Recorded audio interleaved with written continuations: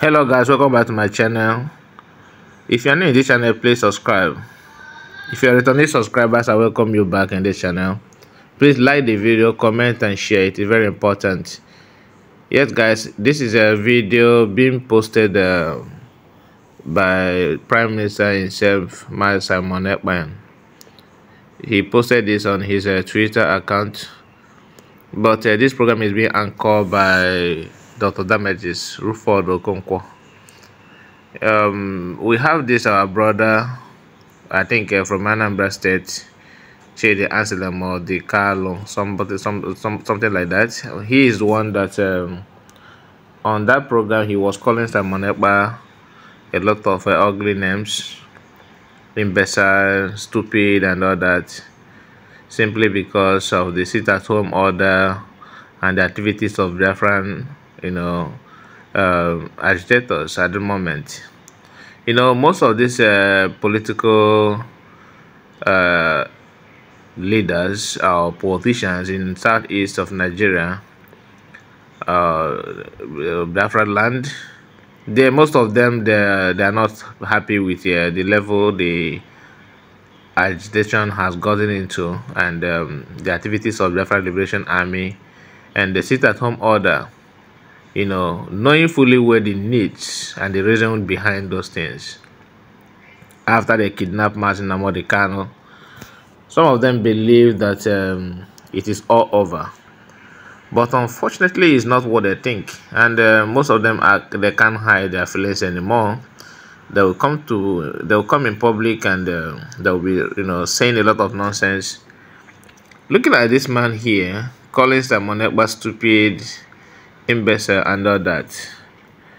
To me it's, it's, it's laughable you know. Someone who looks like a, a sickle cell you know look, look like someone who has a whose blood group and uh, genotype are not uh, even uh, pleasing. He's here trying to use a ugly name against uh, Simon because of what is going on and what is it that is going on actually? Sit at home is not a crime. It's not a, something that you can, you know, sue someone, sue him in court and say that he committed a crime. I don't know what is really wrong with our people, honestly. I just want to I just want to share this video with you because when I watched it I feel so bad. Just hear it from his mouth. An idiot like Simon Ekpa sitting in Finland with a wife from who is white from Finland telling Nigerians what to do. It is because the politicians in our part of the country have failed our people and failed themselves that imbeciles like Simon Ekpa will be doing what they are doing and people are even noticing them. So I do think, having said everything about sit at home that I find disagreeable, it should also teach us something. Okay, after listening to this man yapping nonsense about Simon Ekpa and the activities of uh, Biafrans on sit at home, you know, he claimed that um, he's uh, against sit at home and he being a victim of uh, sit at home and all that. This our Biafran brother, a man who knows uh, who is older than this this man. I don't want to insult him actually. I'm trying to you know choose my words so this man uh, this uh, uh, uh, our elder has something to you know say to him. I think uh, he lectured him here because uh, although he won't learn because he's the one of a political puppet. Let's see what he has to say. I suppose you are a prop now. You are welcome to this platform. And dr damages thank you again for bringing another illustrious son of ours to be in this discussion. Uh, I listened to the the portion of his talk before leaving this program, where he has to talk again for us to um, ask questions. I very much admired the points he addressed, and in this particular morning, I, I didn't come in on time, so I cannot really say much about the things he said before now. But the little portion I got, I have a concern. First of all, uh, I don't think that it is okay for us as individuals to use our level of understanding and explaining things and, and make it general. It seems like from the examples he gave of goodness, yes, there's goodness all over the country. But I have a problem with where the people who he said he used some not the best description of what is happening about the sit at home. Simon is not the name you called him. Simon is someone who is taking a risk for his people, just like Nnamdi Kanu did. Now, we know that elites from Igbo land, many of you are comfortable enough not to want a change for a free Biafra. Because in Nigeria, you, you have a name and you will still have your name continuing. Now, not, not buying into Biafra because there's one silly or one whatever name you call you called uh, uh, Simon doesn't it present you as someone who cares about the, your people. It's you that you are defending in describing somebody the way you did. Now, this uh, sit at home, I can assure you that our people know the reason behind it, and they want Nnamdi Kanu out of that jail before they can stop sitting at home. But many of you are buying the narrative that is out of fear. It's not out of fear. We are sick and tired. Before this time, we, are being killed. We are still being killed.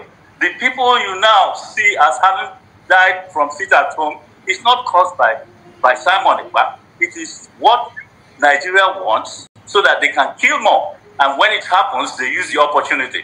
So I, I can tell you, the Igbos are one of the most friendly and reasonable people in Nigeria. I'm not saying others are not. Look at what happened to us during the war. Immediately after the war, we saw we, we couldn't fight anymore. We took our tools and heartily went into Nigeria, went everywhere and resettled. People laughed at our women because they didn't have the best clothes to wear to show up. They laughed at us. Someone like Umezuke carried yam on his head to sell. We quickly bounced back into life in Nigeria. Of course, we thought the war had ended, but we can see now that it did not end. So this blaming of the the the the the, the, the, the, the ones that are, are, are suffering, blaming of the of, of those who have Okay. I, I want to, please, please let me finish because I, there's a way I want to put what I'm trying to say. Every time the Igbos are blamed, the, one, the one who is blaming them or the Biafrans, but more the Igbos, is always not looking at what psychologically has happened to Ndigbo. And nobody has debriefed us of that. And we are still seeing the same thing we saw, the hatred and the killing that we we thought was over. All right, thank you. Thank, let's see, let's see. Let's see. We have less than okay, let me put the question. Let me put it in form of question. What do you want for the people who are now saying we want Biafra? Is it this thing we are in now that we are being killed every day? We are able to change. Igbos are able. If you get give them freedom, they will immediately change back from just the same way they change into Nigeria to live a good life and everything, they will change. Uh, I, I, I think it's time for us to stop blaming the very people who are suffering the most in that country. Thank you. Thank you very much, sir. I, I don't know where you are speaking from, um, but Simon Ekpa is speaking, and I called him an imbecile, and you know I stand by that. Yes. Okay. Yeah. Have that. By the way, my name is Chidi. Hmm? I don't yield to anyone in my, in my Igbo-ness. You're not more Igbo than I am, and I'm not more Igbo than you are. Okay? Now, I cannot tell you, if I tell you, you know, my, I come from, and my parents lived in precisely the epicenter of the current crisis. If I tell you the amount of Ali in the last three months. I have covered over 350 kilometers on foot. Nalibu. Inugo. So I'm not going to take lectures from anybody on what is happening in the southeast. I've come in from the southeast to the United States this week. I'm going back to the southeast. And I'm Ali also. You can see he said that he's not going to take any lecture from anybody, but he wants people to listen to him and take him serious. You can't just, uh, you know, make yourself to look so special and so intelligent when you are not. You came on here and start bashing on Simon Ekpa for no just reason. You said that you you have lost people, you have lost family members and all that. Yet, you are telling us how you move from one place to place in Igbo land freely without being hurt. And they want us to trust this. it is funny. So when we come to this thing, let us all come to this thing as Igbo and we understand what is going on. If you don't understand, I do. I have lost family, not one, not two, not three, not four, not five. I have buried family. So you don't give me lectures about what is happening in sit at home. The first thing is when we are talking about this thing, can we respect one another? Simon Ekpa cannot be sitting and sleeping with a white woman in Finland. And you are telling me. Now, he said that yeah, he, he traveled around Igbo land and uh, he have lost several family members and all that. Does this man look like someone who lost uh, one, two, three, four, five, according to what he said, family members because of sit at home? And the same person who lost these family members is not telling you how he is moving from one place to place in Igbo land, you know, on foot. According to him, on foot. You know, seeing things by himself that nobody can lecture him that he knows it all. And at the same time, he's telling you now that he we should respect each other. And you ask yourself, does calling someone does someone by names uh, serve as a respect? Does this uh, sound any respectful to you or anybody? That he's sleeping with a white woman. What does sleeping with a white woman or married a white woman has to do with the current crisis that we're talking about? That is where I have problem with this man. You know, that's where I have problem with him. You cannot just use that as a excuse when you know that what you are saying is not true. You know that what you are saying is not true. That he is what to you? If he is that to you, please, I will respect you and what he is to you. But when I am burying my people, my family, my blood, because of his irresponsibility, and you are giving me lectures, I'll take exception to that. I've listened to you in dignity and respect. But I do think on this matter, I know a lot more than you do. I respect your age because you're older than me. But I swear, I know a lot more than you do on this particular subject matter, and I will not yield to you when you try to give me lectures on this matter. I will end there. All right. And you want people also to listen to you. You want people to trust you and believe what you're what you're talking. You are a politician. You are benefiting from the system. So what do you expect? You are benefiting from the system. It is very very clear. We know who you are.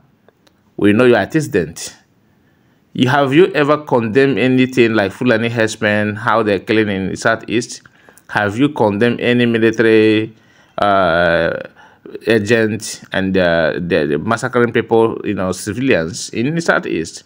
Have you condemned anything apart from the sit at home? This is problem we have in Igbo land. Anyway, I just want to share this with us. This is my reaction actually. I don't like, you know, to go beyond my boundary because this type of people we they will they will make you angry and and just to uh, benefit from what they whatever they benefit from the system. It is very, very unfortunate. Anyway guys thank you for watching the video. See you in my next video. Have a wonderful day. Bye bye